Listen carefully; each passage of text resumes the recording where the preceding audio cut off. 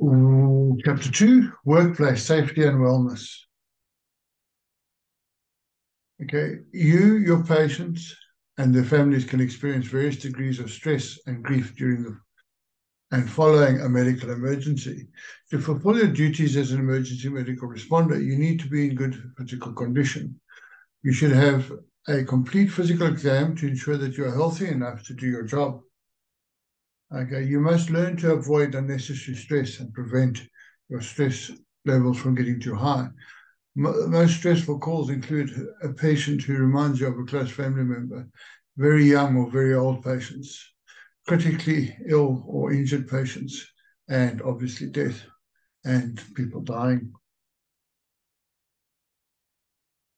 Right, most stressful calls include um, unusual dangers like attacks, assaults, um, mass casualty incidents involving things like aeroplanes, trains, where there's large spread carnage, okay, violence, riots, and things like that, unusual sights and smells and sounds, things of burning, uh, chemicals, things like that.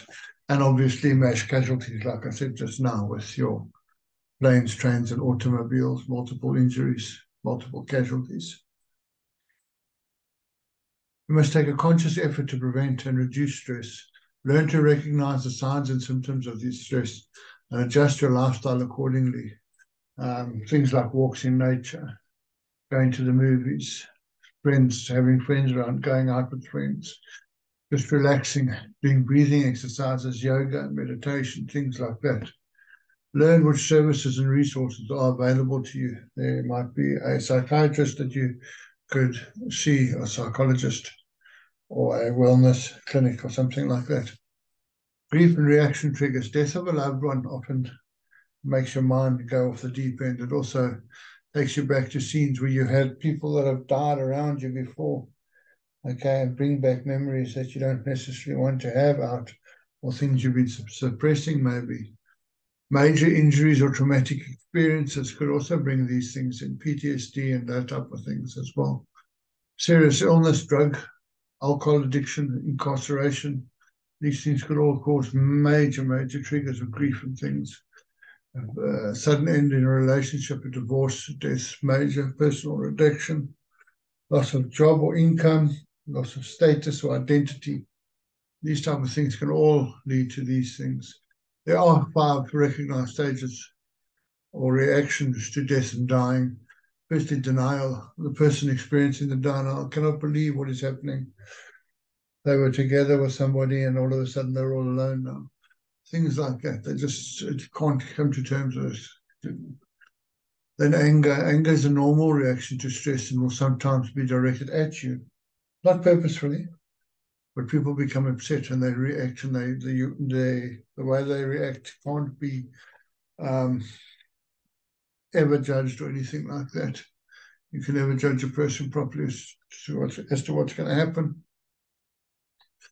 There's a good chance they're going to try and bargain and make um, a deal to postpone death and dying and things like that. Can't you do something to help him? Can't you? Just in a little while, no. Uh, sometimes you can't do these things. Now, depression patient is usually silent and seems to retreat into his, his or own own world. One has to remember and think of depression. It's like a giant blanket. The longer you sit still, the more it starts to cover you and cover you and cover you until the patient is gone completely and completely smothered and involved in deep down depression, lost, locked away in the depths of a cell somewhere.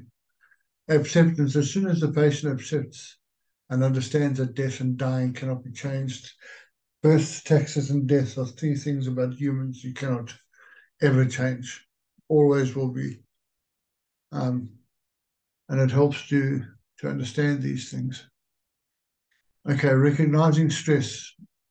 There are always certain triggers that, that, that you can recognize when people are under stress. Irritability, irritability.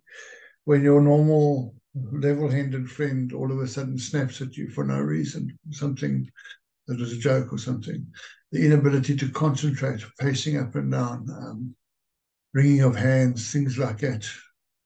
Change in normal disposition, those people that are normally all very cheerful and happy and things like that, they seem sad and mopey and those kind of things. Nightmares or sleeping disorders or insomnia is keeping us up at night. Anxiety, um, and even anxiety attacks and palpitations, things like that. Indecisiveness, inability to make a decision, go or stay, get up, get down, anything like that. And obviously, signs of guilt and, and things. Um, those are all things we need to be aware of. Okay.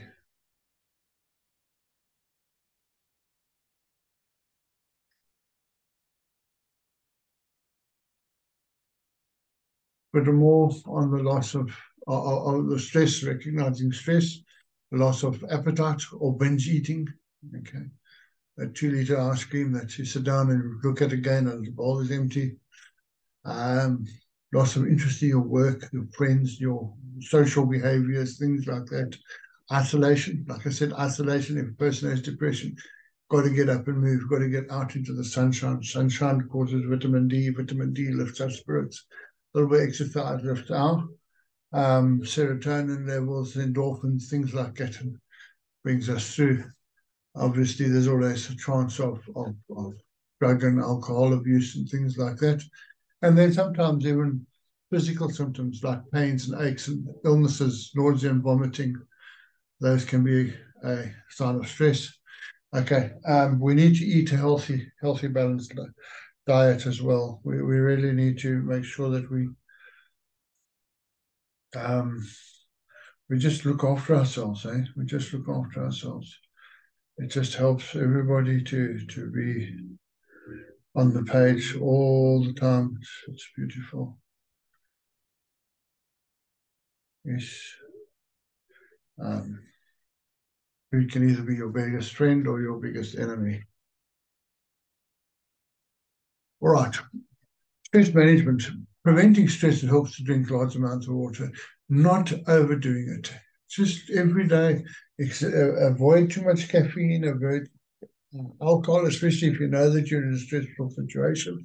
Be merry, learn to, to balance your lifestyle, um, put enough um, time aside for self reflection, quiet time, meditation if necessary, yoga. As you get older, maybe a bit of Tai Chi or something like that, Strong Kwai, uh, Qigong, one of those kind of things. Okay preventing stress, uh, stress, uh, it does help to spend time with your family and your friends, especially those you get along with, that you get along with well, you know. Hobbies, um, things that you can do that have got nothing to do with your work, absolutely zero. Um, hiking or mountain biking or something like that, something that gets you out, get a bit of fresh air in your lungs.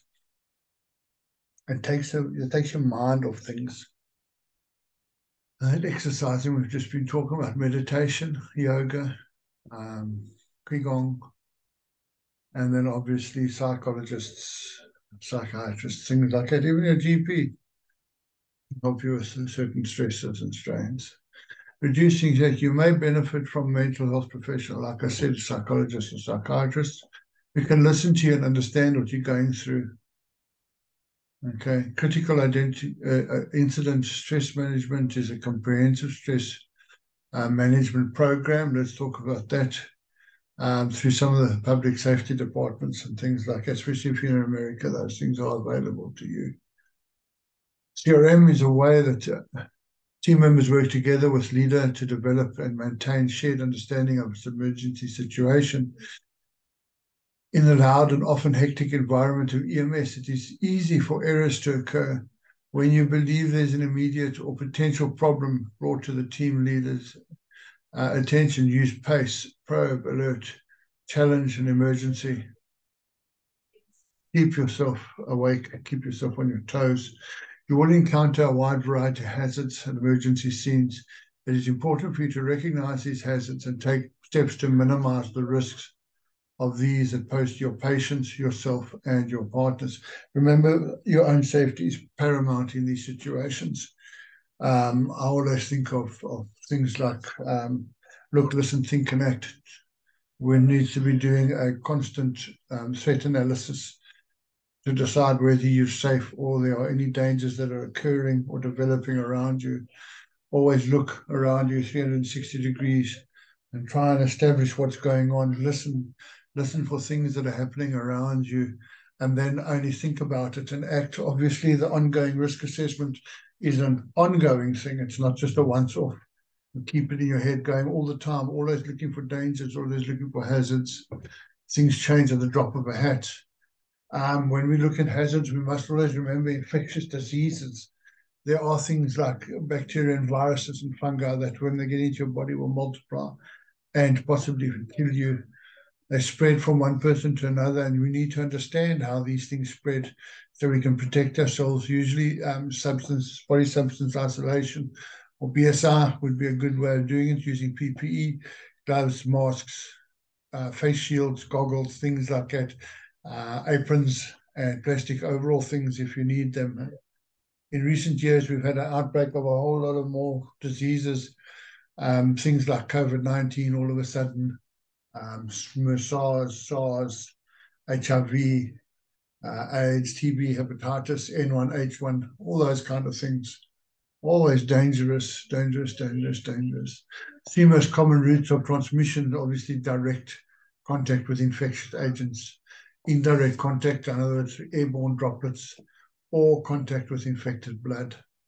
Direct contact, um, obviously the high staph bacterial spread direct contact.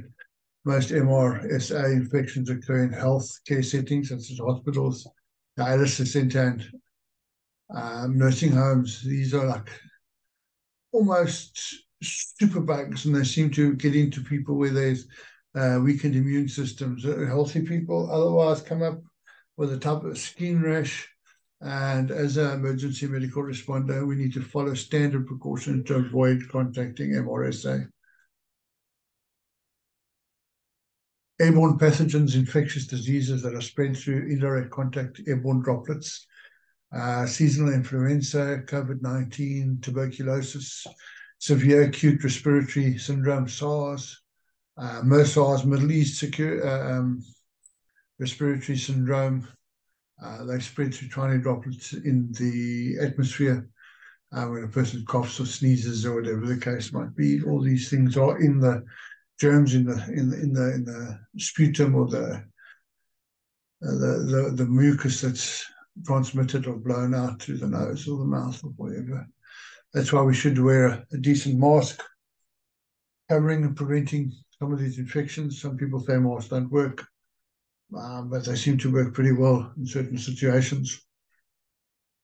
Don't touch the mask and then touch your face. Remember, the mask will be contaminated. when You get rid of the mask in a very orderly and controlled way to avoid getting contact on the skin. Bloodborne pathogens are obviously infectious microorganisms in organisms in the blood viruses cause HIV, AIDS, hepatitis B and C, uh, HIV, HPV, all these kind of things, these really nasty ones. Uh, there's no evidence of transmission by contact with other body fluids unless well visible in blood. Exposure can by, take place with blood splashed or sprayed into your eyes, nose, mouth, open, open wounds.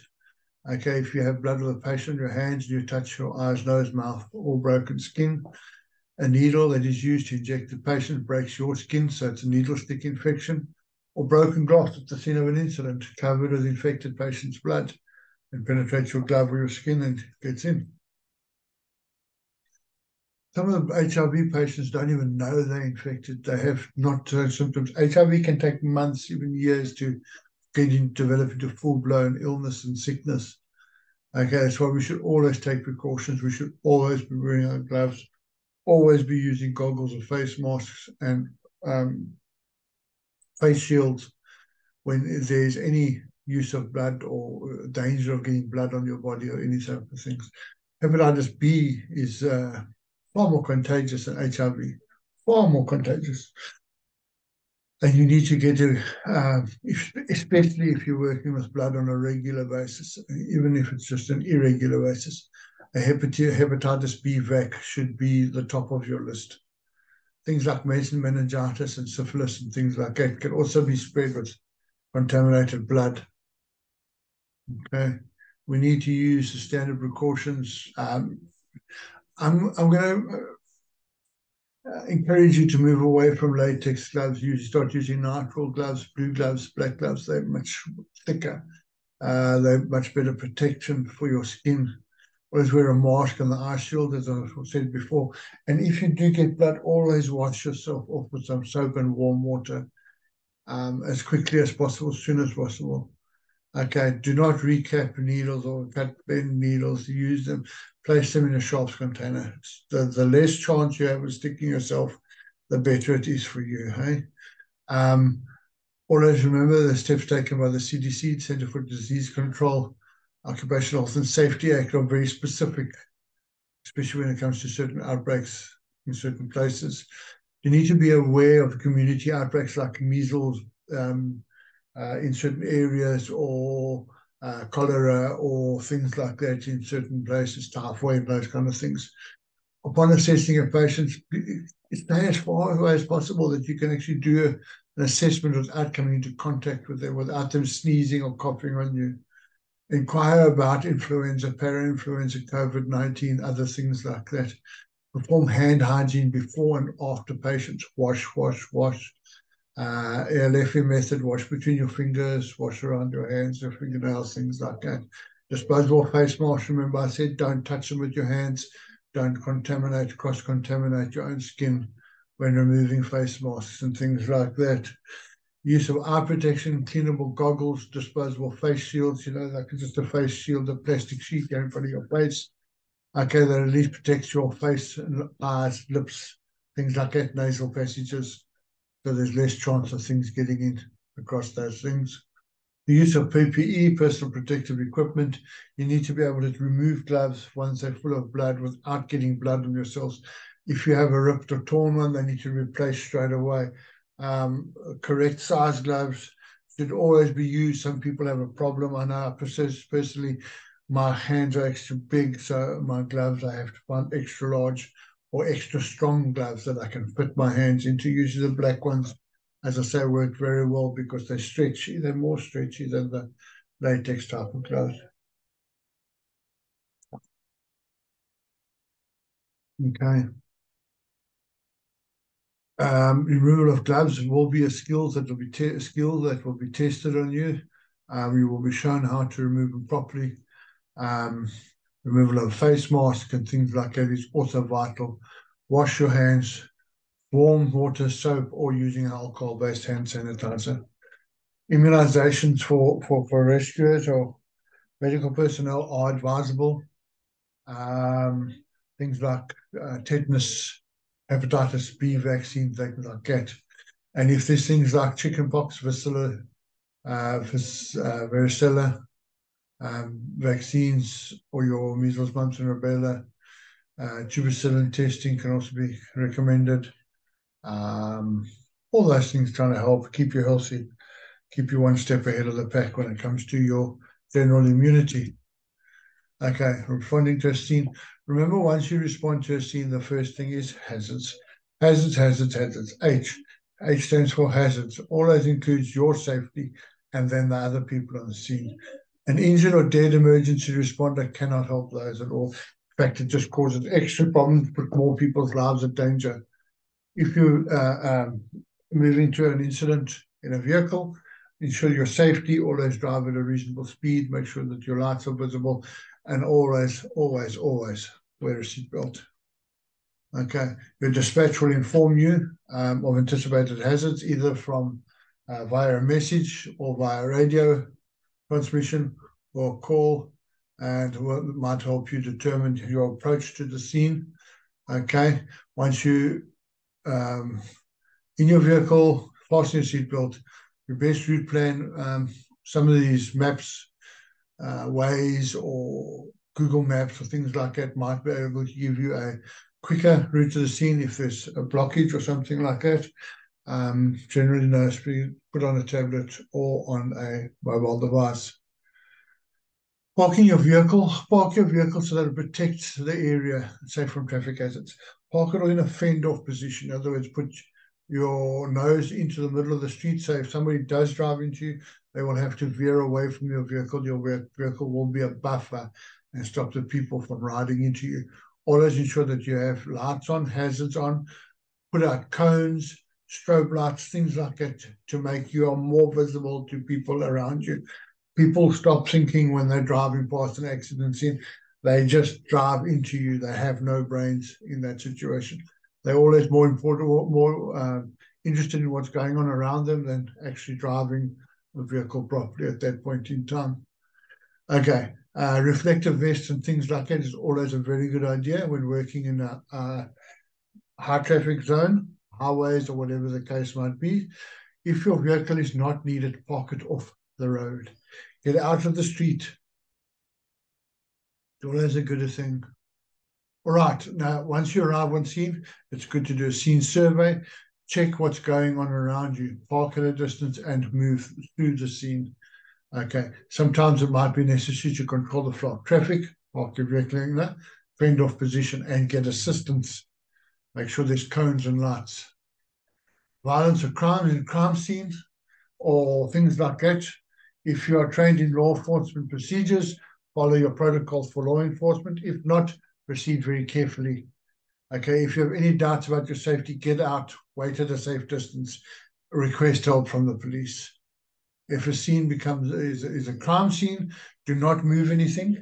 If you need to move something to get to your patient, take a picture of before and after and try and handle the things that you move as little as possible so that you don't contaminate any evidence on those things.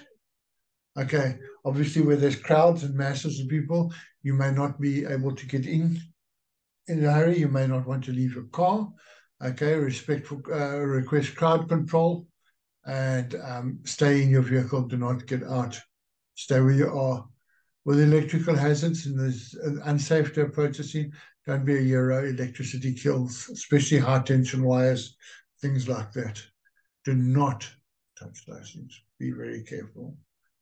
When it comes to hazmat and chemicals and things like that, always remember that acid and alkaline bases, fuel, diesel, all those things are all highly flammable, highly toxic, and deadly.